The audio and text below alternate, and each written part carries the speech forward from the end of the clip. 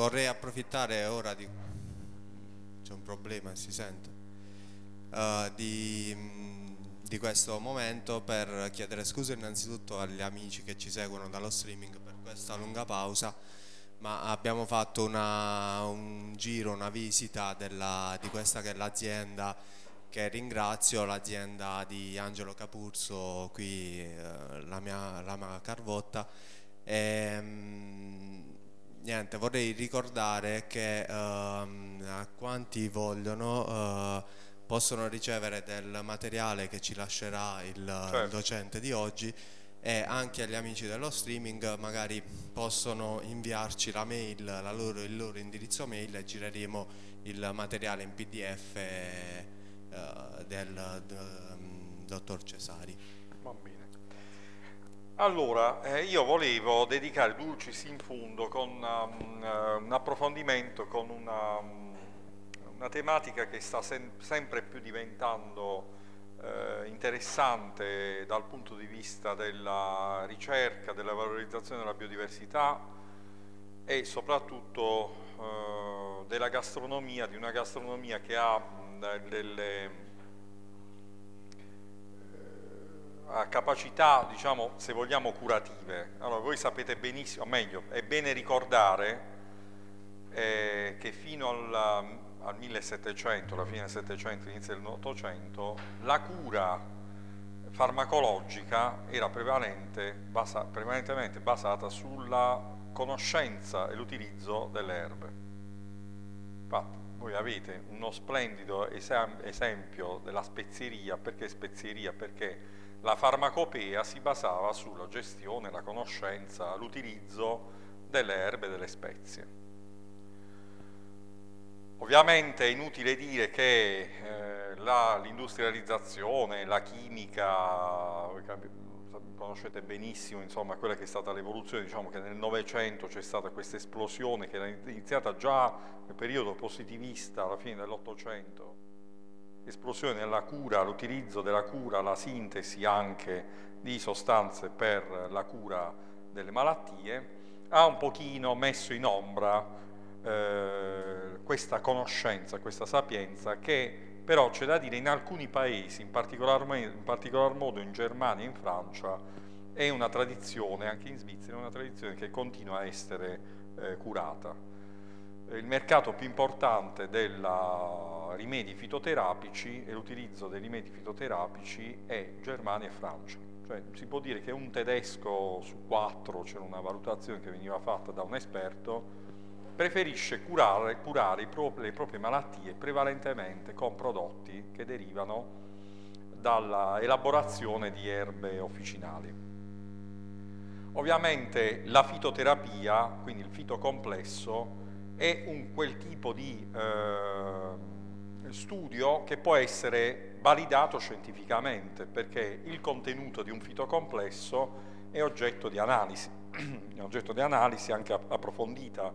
Giusto per fare un esempio, un progetto settimo programma quadro per la cura della malaria in Africa ha dimostrato che ha, maggiore funzione, ha maggiore effetto, tra l'altro c'era di mezzo anche l'Università del Salento, ha maggiore effetto un decotto di Artemisia annua, che è una, una pianta con delle grandi capacità curative, soprattutto per il plasmodio della malaria, che non l'estratto.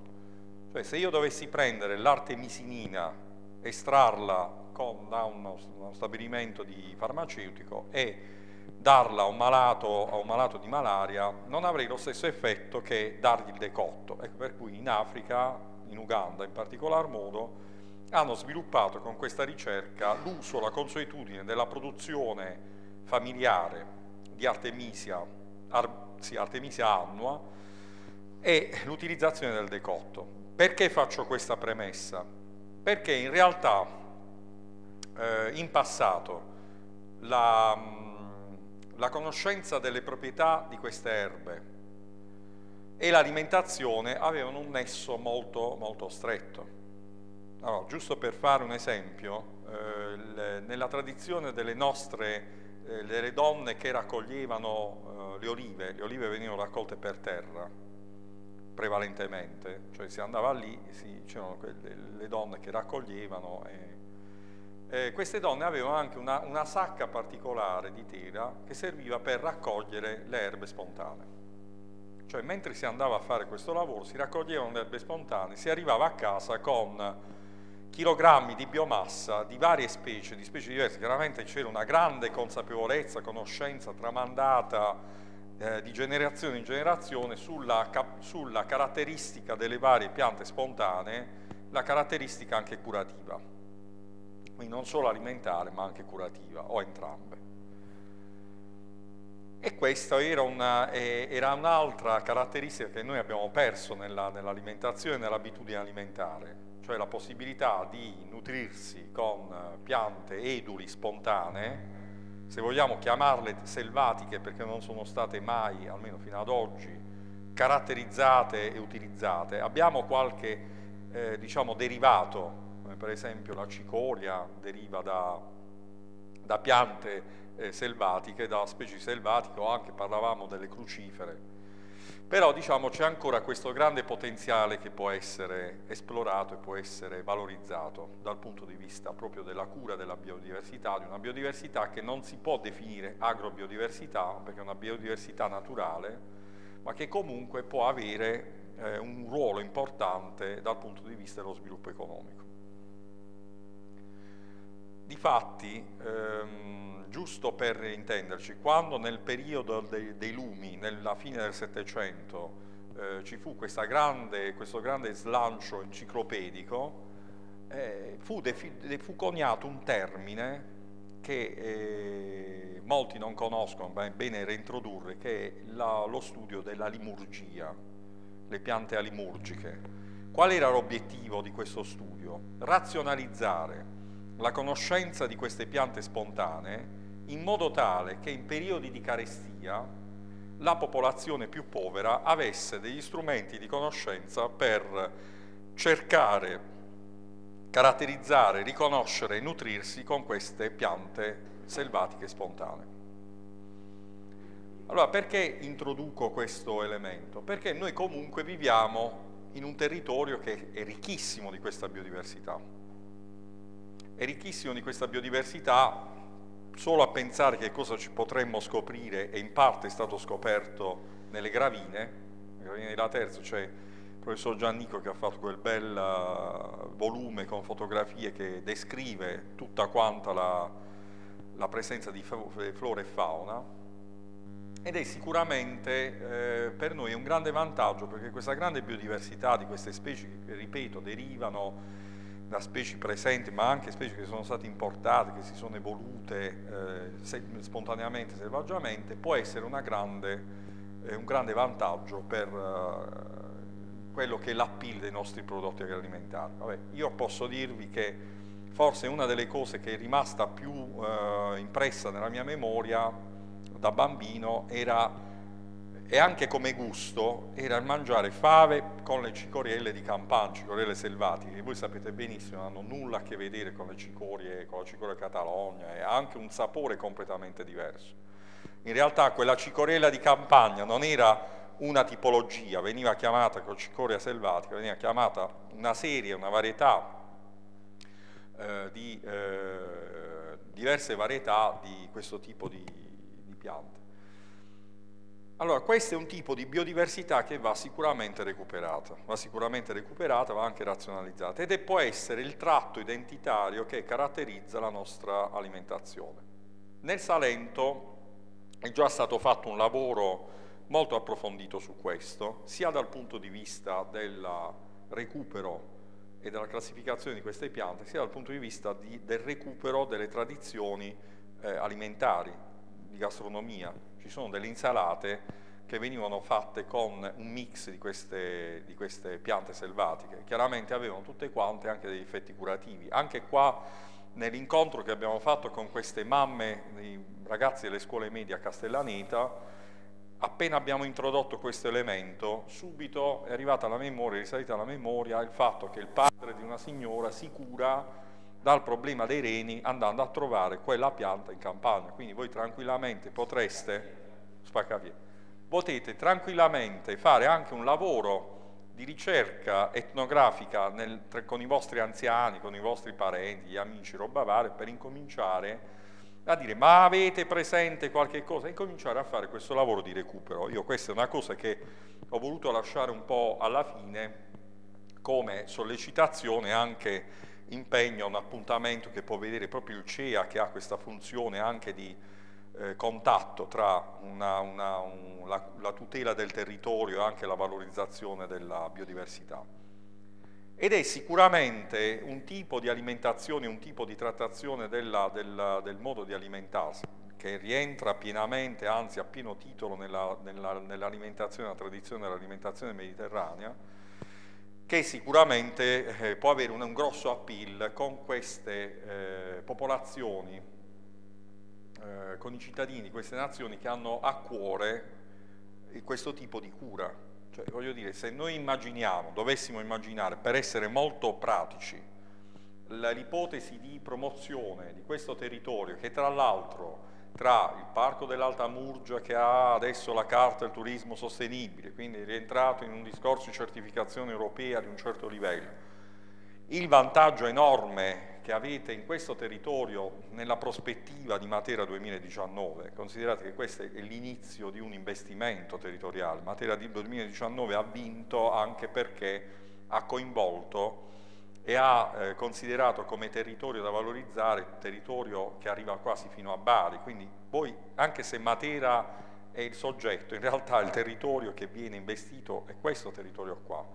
Da parte di questi diciamo così, potenziali turisti che hanno a cuore, oltre all'alimentazione, all'alimentazione mediterranea, anche questa eh, riscoperta della conoscenza della cura con le erbe officinali e le erbe spontanee. Ripeto, il, il nesso, cioè la, il significato è veramente una sfumatura perché non sappiamo dove finisce la fitoterapia e dove inizia l'alimentazione alimurgica eh, se ho dato l'idea. È una, una, cosa molto interessante da questo punto di vista, come del resto la fitoterapia può essere considerata un derivato dell'alimentazione, o meglio l'alimentazione di cui stiamo parlando, della dieta eh, alimentare mediterranea, in realtà è una forma di fitoterapia alimentare. In questo libro che mh, mm, adesso vi manderò tramite PDF, curato da un istituto di ricerca, il De Bellis, vedrete che ci sono anche degli articoli che studiano questi nessi. C'è il professor Mario Chiechi dell'Università di Bari che scrive qual è il nesso importante tra questo tipo di eh, alimentazione eh, da piante spontanee eduli, la presenza dei fitormoni e la tutela delle malattie femminili. Quindi come vedete ci sono tanti di quei collegamenti che non sono più solamente eh, trattazioni eh, di tipo etnografico, ma sono diventate strumento, oggetto di eh, studio scientifico e anche di razionalizzazione. Quindi questo tipo di biodiversità è estremamente importante. Io spero che in futuro, perché noi siamo, abbiamo iniziato ad avere un, un, eccellente incontro e rapporto con persone che se ne stanno occupando a livello nazionale da diversi anni, in particolar modo c'è una validissima esperta in, in, nel settore della fitoterapia e anche conoscitrice della limurgia, che è la dottoressa Esposito, che è di Varese, che vive da parecchi anni qua in Puglia, con la quale stiamo incominciando a, fare, a, a, a intraprendere un percorso di ricerca eh, integrata anche con nutrizionisti e medici che si occupano di nutrizione di cura eh, diciamo della fitoterapia. E, ehm, insieme a questo complesso di valorizzazione della biodiversità, che non è solo biodiversità, come abbiamo detto, di tipo botanico, ma è biodiversità anche dal punto di vista culturale, cioè insieme a questo recupero, voi considerate questo insieme che si sposa ed è legato direttamente col territorio, eh, si sta incominciando a ragionare direttamente anche su quella che può essere una, una, scienza del benessere, una scienza del cambiamento delle abitudini alimentari e dei comportamenti, anche per la cura di malattie gravi. Determinati tipi di abitudini alimentari, cioè introdurre, reintrodurre eh, un'abitudine alimentare in malati di tumore, che hanno avuto interventi, cure per prevenire recidive, è diventato un fattore molto importante.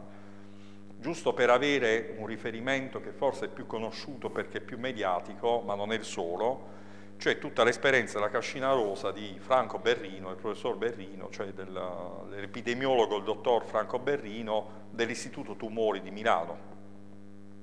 Qual è stata l'intuizione? Un epidemiologo nutrizionale come Franco Berrino, oramai in pensione, ha incominciato a studiare il nesso tra malattie tumorali e alimentazione e ha incominciato a studiare quella che poteva essere il tipo di alimentazione, un cambiamento dell'abitudine alimentare per tutelare e prevenire il, il, mm, eh, diciamo, il rientro con recidive di questi malati in una situazione di questo genere. I risultati sono stati risultati di studi di diversi anni molto, molto importanti, per cui ha notato che il cambiamento alimentare, la reintroduzione in certi alimenti con una forte prevalenza della, della, presenza di mh, varietà eh, tradizionali, vegetali, il cambiamento soprattutto dello stile di, di vita alimentare porta a, uh, alla cura dei malati di tumore, cioè c'è una ricaduta con recidive molto ma molto inferiore rispetto a chi continua ad alimentarsi nella stessa maniera.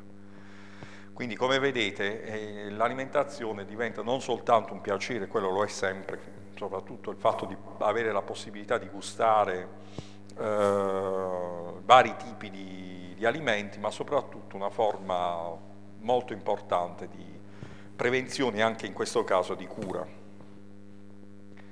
E quindi eh, il nesso che si sta con la ricerca, si sta continuamente portando avanti tra eh, recupero della biodiversità, territorio, alimentazione, gastronomia, ospitalità, eh, considerate, facciamo un esempio pratico, questo è un territorio che ha, oltre ad avere una grossa potenzialità, eh, dal punto di vista territoriale ha anche una grossa potenzialità, un vantaggio rispetto ad altri. In maniera consapevole o meno, voi a Castellaneta Marina avete un polo turistico eh, con una grandissima capacità di ospitare, cioè ci sono un sacco di posti letto.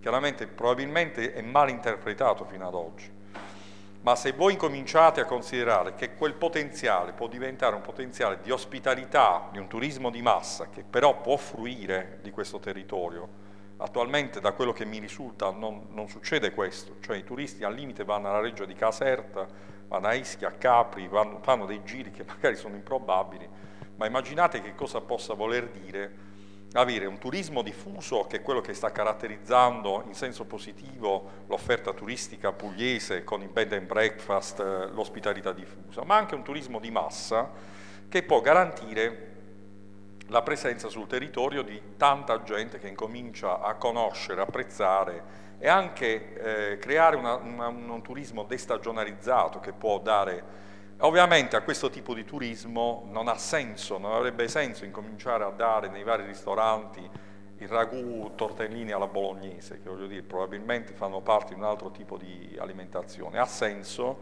incominciare a lavorare approfondendo questo tipo di conoscenza e di trasferire la nostra biodiversità con la narrazione che noi possiamo fare, perché la nostra biodiversità non proviene come in altre situazioni dal nulla, ma proviene da, da secoli di selezione e di conoscenza, quale valore aggiunto rispetto a un altro territorio.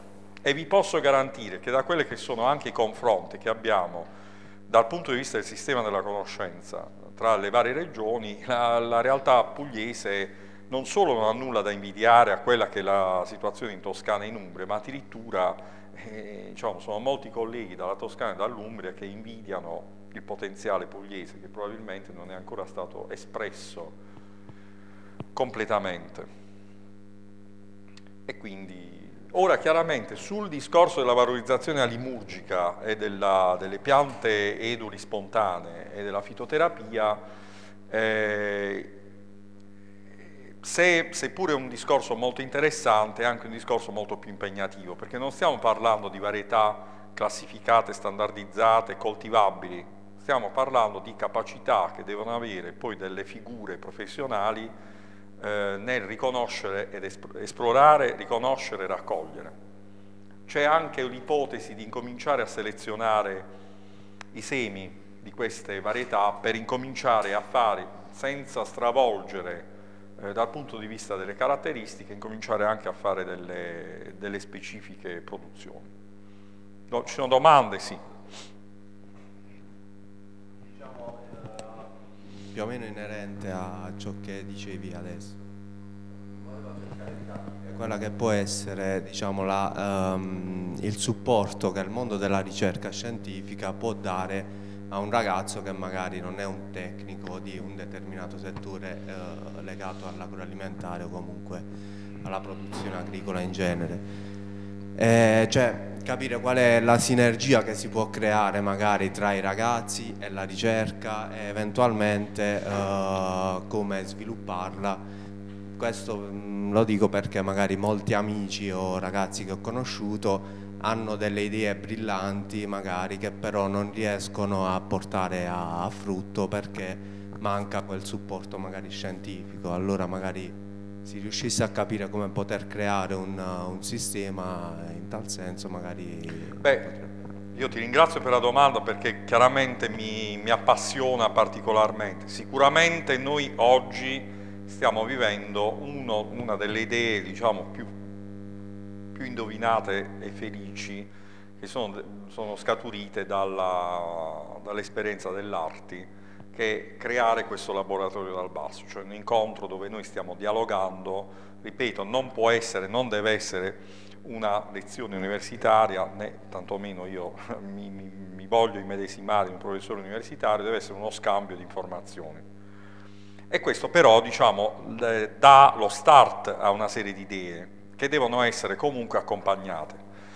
Allora, una delle esperienze più interessanti che sta partendo in questo territorio, perché chiaramente contestualizziamolo con questo, con questo territorio, è la creazione di questa alleanza tra comuni legata strumentalmente all'ipotesi di presentarsi in maniera adeguata con un paniere, con uh, presentazione del, del, delle potenzialità del territorio all'Expo 2015. Diciamo, è una vetrina Mm, se vogliamo anche controversa come, come, si sta sviluppando, però sta avendo il vantaggio di essere un catalizzatore, cioè uno stimolo per le comunità a proiettarsi nel, nel, declinandolo su un discorso legato all'alimentazione, alla produzione agroalimentare in un'esposizione internazionale. Eh, questa aggregazione di comuni che si chiama il cuore della Puglia, la Terza, Ginosa, Castellaneta, Palagianello, insomma sicuramente ha un forte protagonismo di quest'area, hanno aderito, eh, utilizzando quello che è uno strumento di prossimità istituzionale, prima ne stavamo parlando nel break, che è il comune, cioè il comune è l'istituzione più vicina al cittadino, perché è chiaro che il sindaco e la giunta sono cittadini, conoscono i cittadini, vivono nella città, hanno rapporti è un'istituzione che ha degli strumenti, avrà ancora più strumenti perché queste nuove norme che potenziano l'autonomia e le capacità, le, le, responsabilità dei comuni possono essere utilizzate. Poi chiaramente eh, io dico, eh, come succede sempre, eh, queste sono le potenzialità, poi bisogna sapere come declinarle eh, con eh, gli amministratori, i decisori che vengono eh, delegati a fare questo. Però c'è una potenzialità. Allora, L'ipotesi più concreta qual è? Quello che stiamo cercando fare, eh, di fare alla terza, eh, nello specifico, cioè creare anche con strumenti tipo l'antenna PON, ricerca e competitività, che sono strumenti di eh, facilitazione dello scambio di informazioni, è uno strumento di gestione della, eh, di, una, di, un, di, progetti PON eh, gestiti dal MIUR sostanzialmente, che vedono nei comuni, nelle istituzioni comunali, il luogo, una convenzione di luogo dove si incontrano gli stakeholder e il mondo della ricerca. Quello può essere uno strumento, cioè incominciare a interpretare il comune non solo come il luogo dove c'è lo sportello unico, l'autorizzazione roba varia, ma anche il luogo dove istituzionalmente ci può essere questo incontro. È ovvio che ci deve essere e c'è, sicuramente va sollecitato anche dalla popolazione, l'evoluzione di un, tipo, un determinato tipo di ricerca che si, mh, nell'avvicinarsi direttamente con i fabbisogni del territorio. Cioè, per intenderci, l'idea che ha avuto questa azienda felicissima del latte d'asina ha trovato delle persone che hanno saputo interpretare, declinare eh, questa idea con uh, l'esigenza territoriale, oppure che ne so, eh, il fatto di aver avuto comunque un vantaggio perché eh, nella gravina della terza è stato fatto uno studio sulla biodiversità e a voi vi avvantaggio moltissimo perché avete già uno strumento. Allora questo può essere sicuramente integrato. È chiaro che la ricerca applicata, cioè la ricerca che non parte da una concezione eh, diciamo, centralizzata nel luogo dell'elaborazione, ma che si trasforma, si evolve con il contatto con le esigenze del territorio, è quella ricerca che riesce a dare questi, questi risultati. Cioè, dire, noi parliamo di alimurgia, possiamo tranquillamente in primavera, perché adesso non è che si riescono a riconoscere le, le, le varietà, le varietà vengono riconosciute nel periodo della produzione di fiori, anche se noi in Puglia stiamo avendo con questi cambiamenti climatici due primavere, quindi anche l'autunno fino a dicembre o Bavara abbiamo visto che c'era vegetazione, beh, potrebbe essere interessante organizzare un'esplorazione nel periodo primaverile con persone che hanno capacità di, eh, sia di esperienza,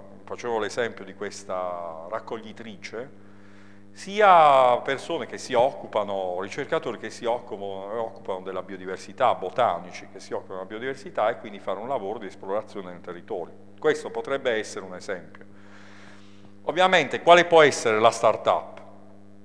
Una squadra di esploratori e raccoglitori che sono consapevoli del territorio e sanno come muoversi, come per esempio ci può essere anche l'impostazione di un laboratorio fitoterapico, l'inizio di un laboratorio fitoterapico la definizione, voi che avete per esempio, mi viene eh, in mente, avete l'esperienza di queste spezierie, la spezieria che sta alla cavallerizza, che poi diciamo, quella, il, beh, là la potete riempire di contenuti perché potreste incominciare a immaginare un laboratorio di produzione di fitocomplessi.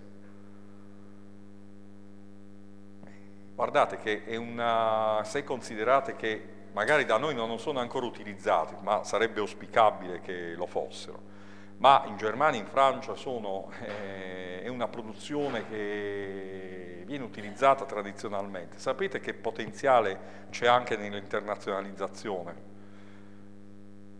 Incominciare ad avere dei lavoratori di fitocomplessi, di fitoderivati, di, di, di, di gemmoderivati, ci sono tutta una serie di variabili che poi adesso non voglio entrare che può essere tranquillamente esportata, come per esempio eh, anche la produzione di piatti pronti con queste varietà particolari.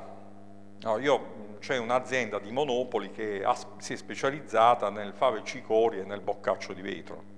Cioè se voi andate in a Bari spesso capita in centro c'è uno spaccio, tu vedi impiegati di banca, cose questo genere, che vanno là, prendono il boccaccio, probabilmente sono dotati anche di microonde e si fanno il fave cicoria spendendo una fesseria in un prodotto che è conservato. Infatti voi avete il vantaggio di avere Tocchi di Puglia, che tra l'altro sicuramente fa scuola, però... Quindi io queste le vedo come opportunità eh, che poi voglio dire non è che possono essere replicate o replicabili in altri territori, eh, cioè dov'è che devi andare a fare queste cose? Qua noi abbiamo questa possibilità di farlo e quindi le vedo come opportunità di lavoro.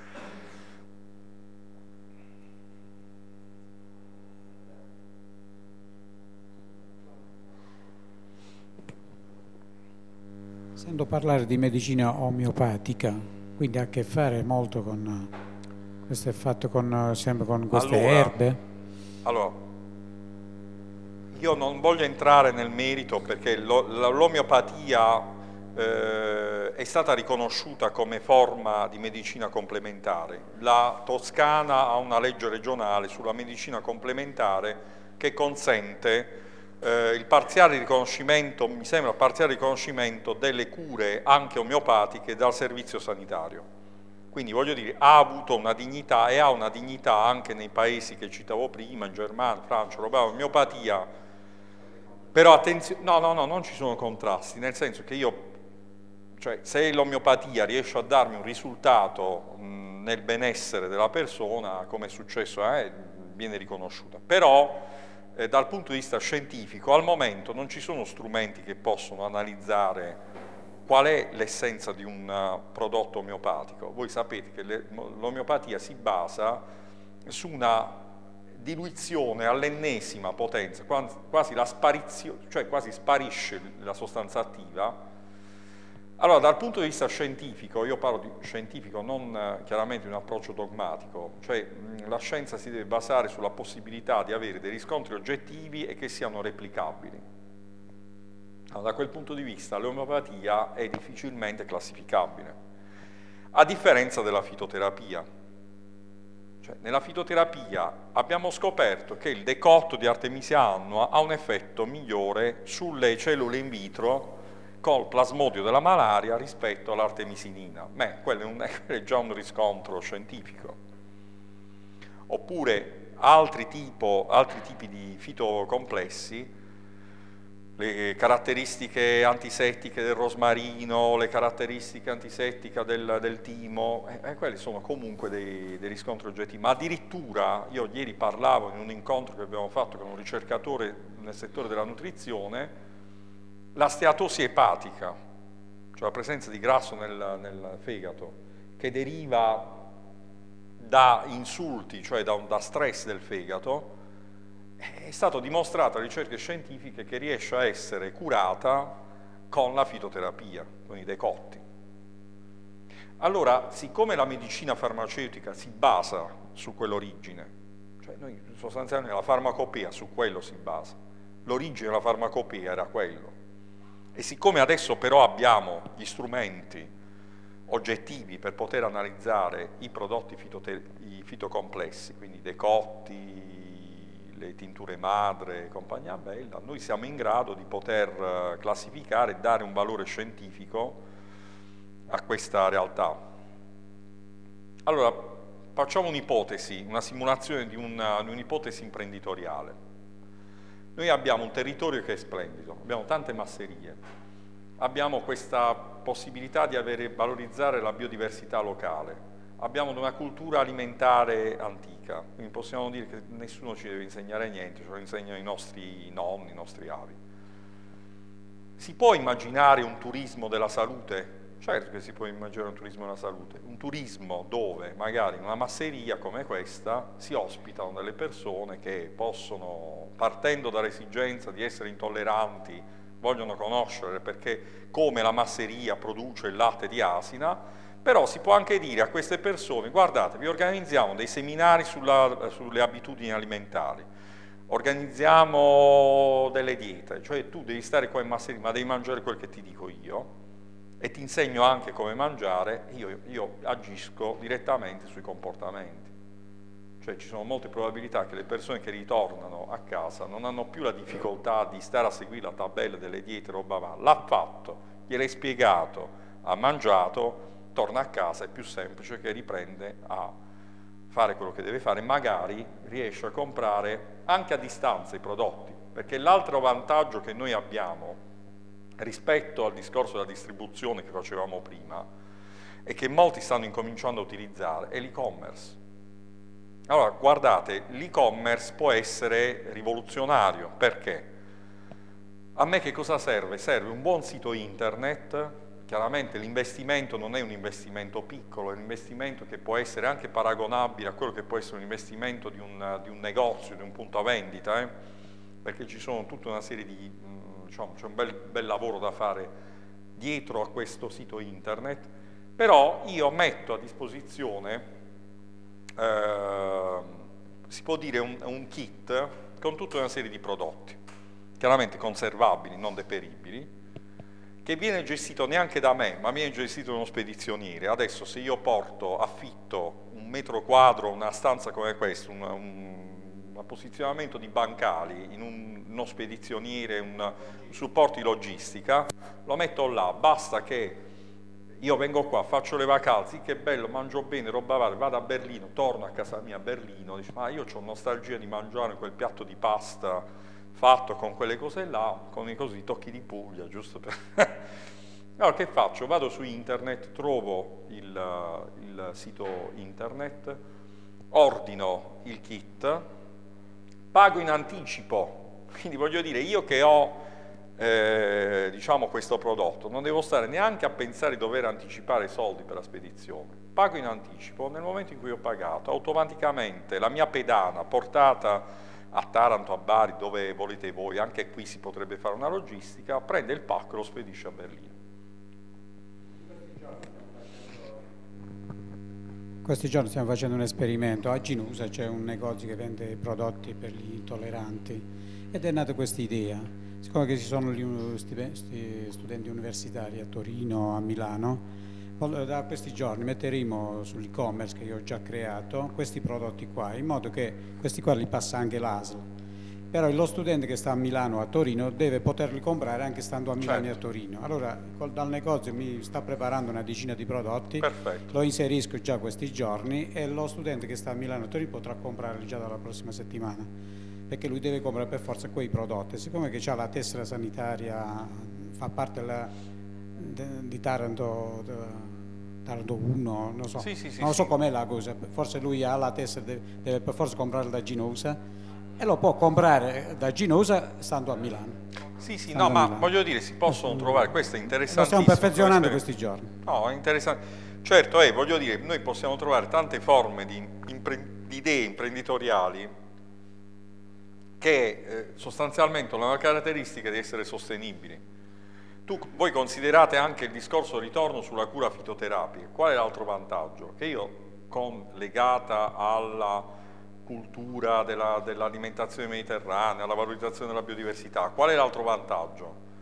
È che io curo le persone senza dover importare medicine. Le medicine che noi utilizziamo per chi è malato, e mica vengono prodotte qua, sono tutte importate mentre quel valore aggiunto che riguarda la cura io lo investo sul territorio. Cioè io spendo la spesa sanitaria poi diventa una partita di giro nel territorio. Allora, eh, voglio dire, è una buona idea imprenditoriale e che tra l'altro è sostenibile perché io non è che devo fare un impianto industriale. Il laboratorio fitoterapico sostanzialmente non ha bisogno di investimenti. È chiaro che c'è un grande investimento nel know-how, un grande investimento nella conoscenza. Non è una cosa che si può improvvisare da un giorno all'altro, però è, è fattibile.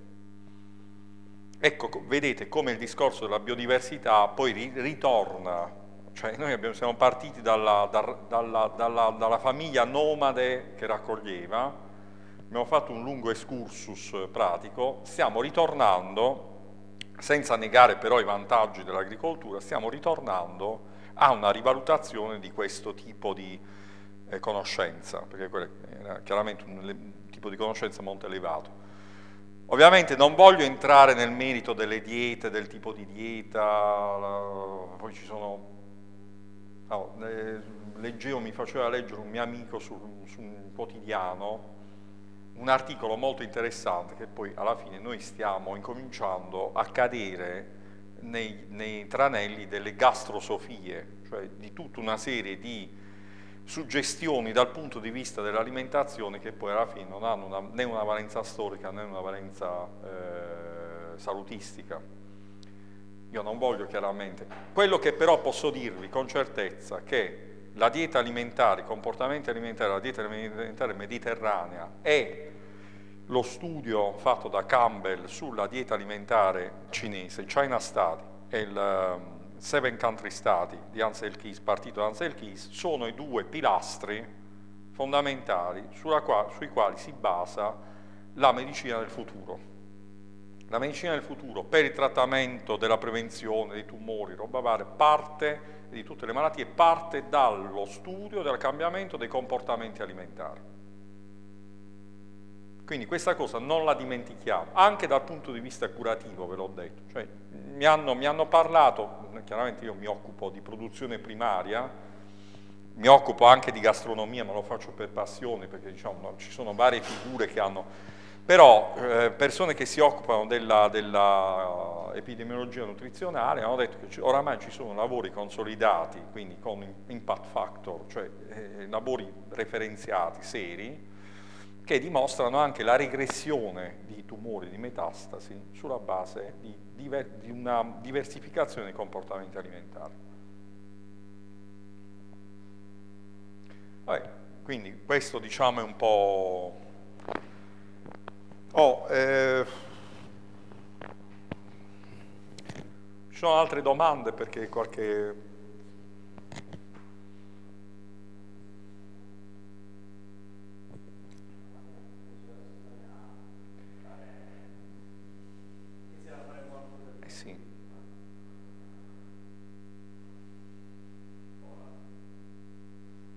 Allora, io quello che vi volevo dire, adesso con la mailing list al limite io la giro a te, tu poi la mandi a tutti, mando eh, il link di questo libro che purtroppo non, la Regione ha finito, questo è un libro pubblicato da, nel 2013 dall'assessorato all'agricoltura, però è presente il link su, su un sito insomma, consultabile il libro perché lo, lo stesso dicasi per lattante e prodotti tipici mediterranei dello YAM. In questo è un approccio sulla biodiversità specifica pugliese. Questo sulla, sulla biodiversità legata ai prodotti e anche alla gastronomia. Molto interessante, questa è veramente una realtà, questo in pdf ve lo darò perché insomma, è importante divulgarlo, questo lavoro molto interessante sulla dieta mediterranea in Puglia No, no, no. Cioè guardate, questo purtroppo è, è, una delle poche copie che sono disponibili. Questa è una copia fatta omaggio, eh, però diciamo, uno dei curatori mi ha dato il pdf proprio per aumentare la diffusione. Ma io oramai, guardate, molti, molti pdf poi non li stampo neanche più perché me li leggo sul tablet, cioè non, anche per un fatto di sostenibilità, non ha senso stampare carta se posso consultare, anzi sul tablet ho la possibilità sul computer di fare ricerche con keyword. Vabbè, poi c'era questo che se vogliamo è più di appro un approccio culturale perché Slow Food ha, questo, ha, avuto questo grande merito, però chiaramente limitandosi a un discorso di, di interesse culturale eh, nella riscoperta della, dei pani, del, del, degli alimenti della tradizione Beh, questa è una guida molto importante sul pane di qualche anno fa, eh, vi dico che eh, no, cita il pane di La Terza ovviamente come pane eh, locale.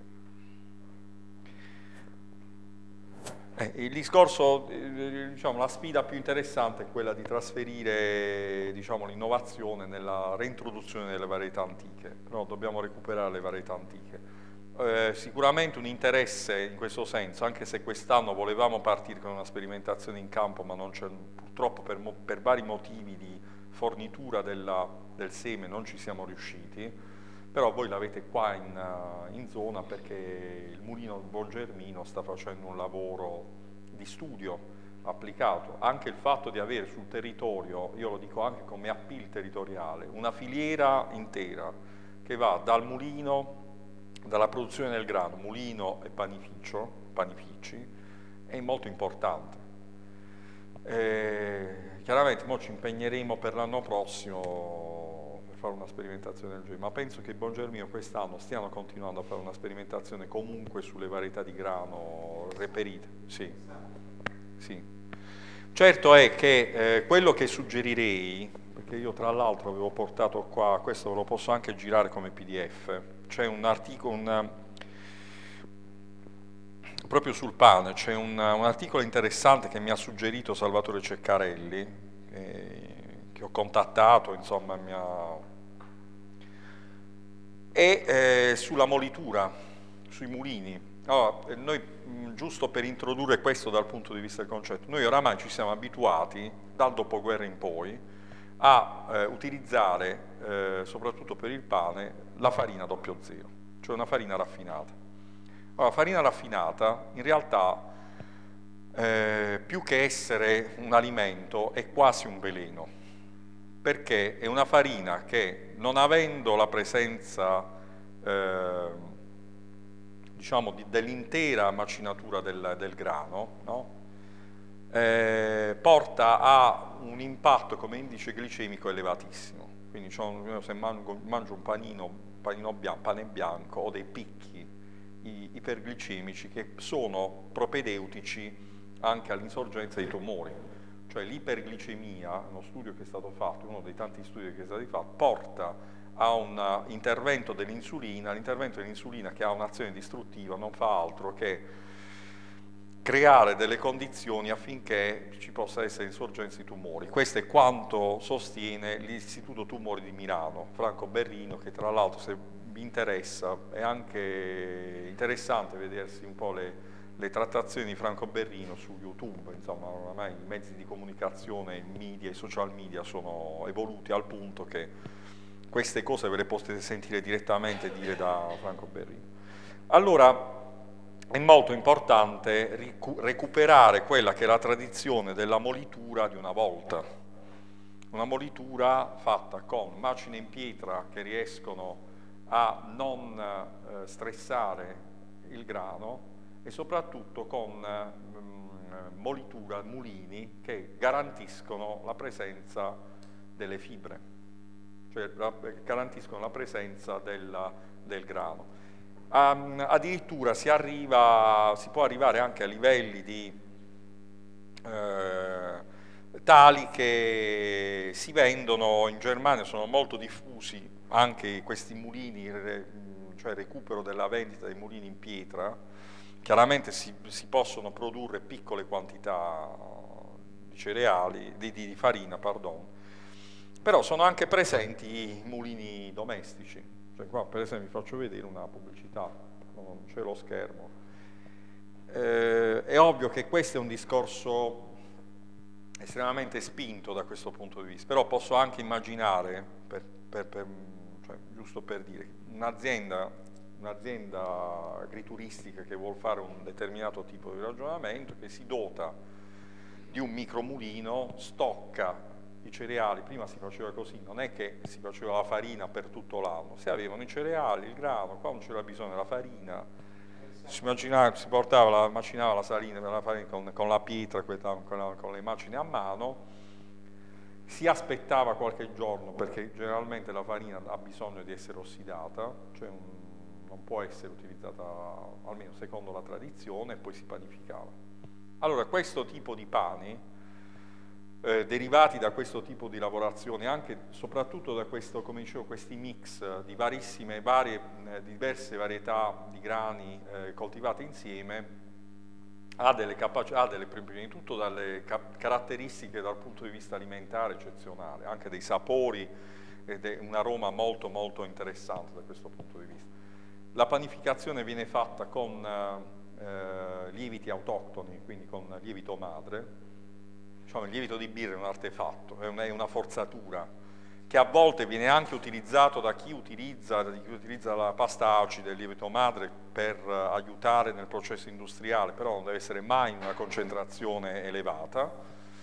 Però il vantaggio è anche quello che io riesco a fare la pasta madre con la pasta acida, che era la caratteristica della nostra tradizione eh, culturale eh, che è una fermentazione, una fermentazione della farina con l'acqua con lieviti che sono autoctoni, cioè i lieviti che stanno qua, non sono i lieviti che stanno in Germania per intenderci, sono, si passa a casa per casa, cioè io facevo la pasta madre, facevo il pane, lo portavo al forno e poi si dava, si dava l'amico e alla fine quella pasta madre circolava e ritornava a noi, cioè ritornava alla famiglia.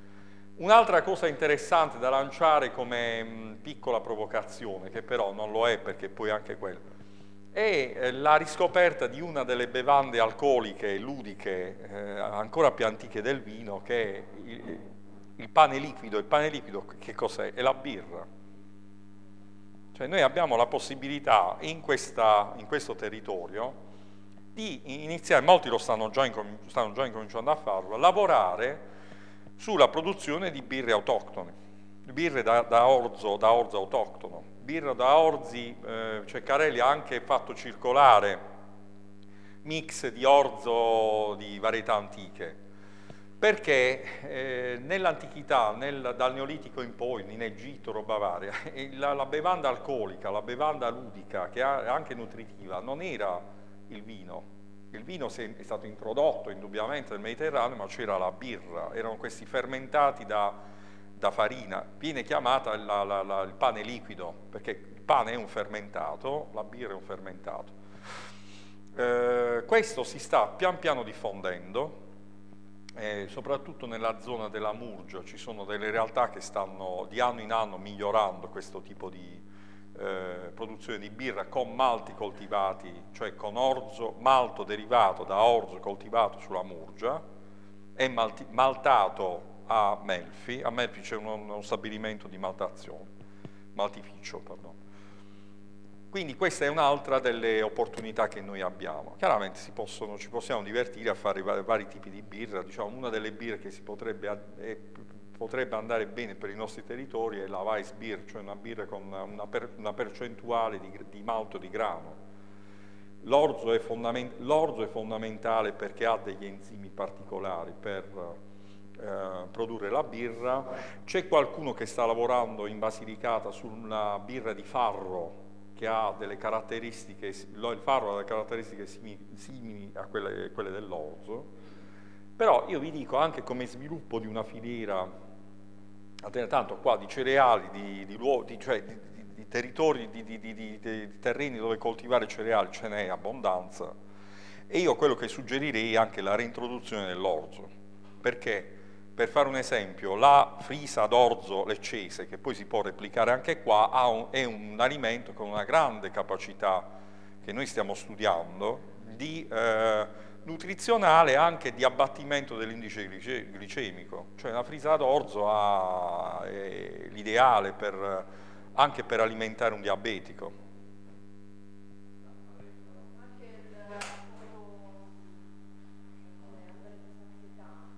Sì. quella sì. di qua due minimo. Sì. Perché è più... Ma eh, questo è legato anche molto a... Questo discorso delle mandorle di prima, cioè dà sì, sì. un senso di sazietà. Sì, ma io di fatti quello che dico, un alimento che è completo per noi potrebbe essere tranquillamente un pane come la frisa d'orzo con un filo d'olio, cioè questi sono, sono alimenti che comunque... Oppure per esempio un'altra sperimentazione che si sta facendo è uh, la produzione di pasta con sfarinati di legumi e sfarinati di cereali. Qual è il vantaggio? Il vantaggio, io l'ho assaggiato, è una pasta che ha, è gustosa come la pasta normale, qual è, ma qual è il vantaggio? Che io posso, nutrendomi con una pasta che ha una percentuale di sfarinati di ceci, ho molte proteine che assumo direttamente dalla pasta e poi ho un basso indice glicemico perché la presenza di proteine con i carboidrati mi consente un'assimilazione graduale eh, diciamo, il fatto di non, la, la, caratteristica di non avere questi picchi iperglicemici e questa è una sperimentazione che si sta facendo anche che può essere trasferita diciamo, nell'ambito di quella che è una filiera. Allora io quello che dico non tutto quello che stiamo studiando e che può essere facilmente riportato, perché ve l'ho detto io, a differenza forse di chi è venuto precedentemente, chi verrà, eh, sto qui sul territorio, stiamo qui, anzi io rappresento, non sono solamente io perché non ce la farei, rappresento una, una squadra anche molto appassionata di ricercatori, esperti, roba varia, siamo sul territorio e la possibilità di ipotizzare una filiera eh, della produzione alimenti, della produzione di ospitalità, della produzione, una, una filiera del benessere. Cioè qua bisogna incominciare a ragionare non solo sull'agriturismo bello, eh, ma l'agriturismo che sia portatore di benessere, benessere, tutela della salute e questo vi assicuro che siamo in grado anche con le strutture che sono presenti sul territorio di farlo. Quindi tramite eh, questo contatto diretto che noi abbiamo con i comuni che stanno incominciando a comprendere l'importanza del, del, loro ruolo da protagonisti nell'educazione alimentare, nello sviluppo, questo sviluppo che è il vero sviluppo sostenibile, perché non è un turismo d'assalto, non, non, non, sarà, noi ci auspichiamo, non, non potrebbe essere un turismo d'assalto, ma un turismo di cultura, di approfondimento gastronomico, con una gastronomia che non è soltanto piacere, perché questi cibi poi non, non è che sono, sono, piacevoli, cioè il piacere che si ha nel mangiare questo tipo di, eh, di nutrirsi di questa alimentazione, sarebbe per dire che un piacere archetipico, forse anche più forte, più intenso di quello che è un cibo molto elaborato, quello che ti dà un cibo elaborato, col vantaggio però che questa alimentazione, questa abitudine alimentare, che oramai ha una ricerca consolidata da più di 60 anni, garantisce che cosa? Garantisce il benessere e la salute. Aspetta, no. Eh, no, niente, abbiamo parlato dei vari prodotti tipici legati ai diversi ambienti, eh, anche della birra, così, però stavo chiedendo eh, riguardo al miele per esempio, esiste già uno studio su mieli tipici legati soprattutto a vegetazioni spontanee che non sia miele d'arancia ovviamente di altri, cioè monoflora, monoflora di altri, cioè di coltivazione. Quindi, allora, io personalmente non sono esperto, cioè si potrebbe fare un approfondimento con chi si occupa o a veterinario, entomologia di, di questo tipo di sì, allora, sicuramente c'è, allora, eh, chi si sta specializzando con la produzione di un miele mille fiori derivato dalla eh, presenza di arnie in zona murgiana e quindi con una caratteristica di presenza di essenze, di una biodiversità che riesce a dare eh, delle caratteristiche particolari. Se vogliamo possiamo anche in seguito, a prescindere dall'esperienza del laboratorio dal basso, approfondire, informarci su quelle che sono i, le esperienze specifiche. E sicuramente un'esperienza di questo genere è presente nel, nell'ambito del Parco Nazionale dell'Alta Murgia, quindi mh, mm, anche domani posso, possiamo diffondere. Certo, anche la, oh, è importante però sottolineare... Sì. Sì, sì, no, eh, no, no, sicuramente ha, un'importanza notevole. Chiaro eh, dobbiamo intenderci, eh, la presenza della, cioè investire in apicoltura vuol dire investire in un territorio sano dal punto di vista non contaminato, incontaminato. Faccio un esempio, eh, voi state seguendo il problema che si sta avendo nell'Eccese su questo disseccamento rapido degli ulivi che è attribuito alla Xylella, a torto a ragione, perché anche su quelle è, contro... sì, è controverso, perché poi alla fine eh, noi parliamo di scienza, ma molte volte anche i nostri docenti universitari si dimenticano che cosa vuol dire effettivamente la scienza. Eh, allora, non sappiamo se quelle piante disseccano per i funghi o per la Xylella. La Xylella non ha avuto ancora un test di patogenicità, cioè se devo sapere se è la xylella, perché noi, io trovo sempre un mix di, di concause, sta di fatto che per uh, approssimazione, per la fretta, per la paura di avere problemi con l'Unione Europea, uno dei rimedi che eh, ritengono opportuno eh, applicare per controllare la, la diffusione di questo patogeno da quarantena è l'utilizzo dei pesticidi. Quando? Nel periodo dell'impollinazione, perché poi alla fine il ciclo biologico della sputacchina, anche questo nome di questo insetto che ah no, oggettivamente è stato ritrovato come vettore, eh, non è che là non è che si sta, cioè, c'è la presenza di questa sputacchina che ha all'interno del, del suo organismo, in questo apparato succhiante, la presenza di questi batteri, ciclo è legato a un utilizzo di pesticidi nel periodo dell'impollinazione. allora che cosa è successo?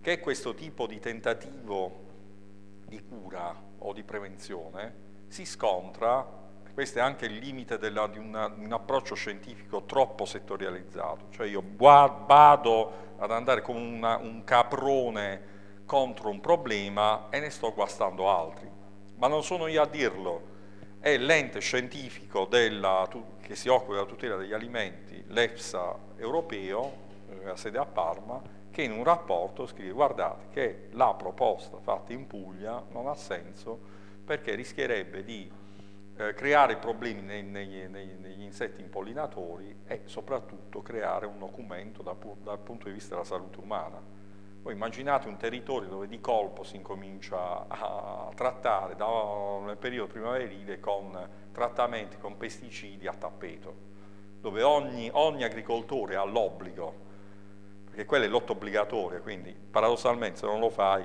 sei anche passibile di sanzione.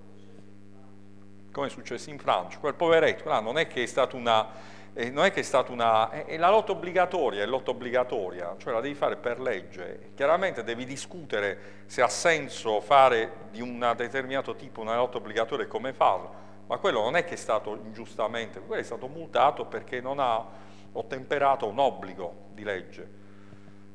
Ora, che cosa voglio dire? Eh, il discorso dell'apicoltura è molto de delicato, perché poi alla fine lo devi fare un territorio incontaminato. Allora, ritornando al ragionamento che facevamo prima, il Parco Nazionale dell'Alta Murgia, che nell'ambito del piano di gestione prevede, essendo un parco nazionale, la tutela, una tutela o una garanzia di tutela territoriale, è un luogo che sicuramente può dare maggiore garanzia. Ecco perché, oltre alla Carta Europea del Turismo Sostenibile, adesso sta partendo, anche se con un po' un po' lentamente sta partendo l'idea di eh, costituire i prodotti del parco. Allora, che cosa voglio dire? Che senso ha questo ragionamento? Trasferendolo in questo territorio, io non so bene, qua c'è comunque un vantaggio potenziale di attivare il parco regionale delle Gravine. Allora, sul parco regionale delle Gravine, attivarlo vuol dire avviarlo, piano di gestione, trovare i capofila, però quello è un investimento che sicuramente col CEA va fatto, cioè lavorare su uno sviluppo territoriale di questo senso perché voi avete più da guadagnare parco, con, con l'attivazione di un parco che non uh, assecondando le resistenze di qualcuno che magari non lo vuole il parco però non sa che sviluppo alternativo offrire. Però ripeto, sull'apicoltura bisogna avere molta cautela. Con i tempi dello streaming. Um, possiamo affermare che quindi la famosa dieta mediterranea uh, segue tutto sommato una linea vegana?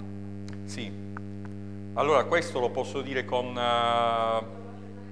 No, no, no, questo lo posso dire senza timore di essere smentito, perché eh, sicuramente, sicuramente vegetariana, sicuramente vegetariana, perché diciamo c'è qualche eh, passaggio nella dieta mediterranea, però ripeto, eh, quella che è stata definita e caratterizzata era l'alimentazione eh, di queste popolazioni, popolazioni partendo dall'esperienza di Ansel Keys in Apollica, eh, però poi allargando in tutto quanto il bacino mediterraneo, da popolazioni che si nutrivano prevalentemente di proteine vegetali. Quello che è il derivato dello studio sulla dieta mediterranea posso dire che ha, eh, può, può, rispondere alla domanda positivamente perché parlando con diversi nutrizionisti mi dicono senti Giovanni qua è inutile che giriamo attorno ma se uno deci dovesse decidere di alimentarsi essenzialmente con proteine vegetali